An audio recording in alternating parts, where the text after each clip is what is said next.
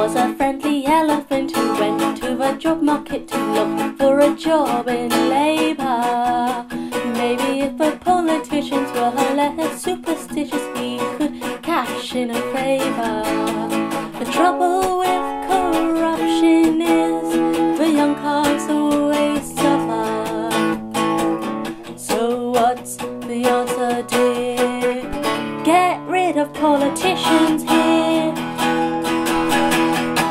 Was a friendly elephant who went to a job market to look for a job in labour.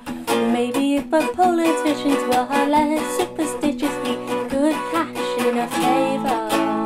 The trouble with corruption is the young cast always suffer. So what's the answer, dear?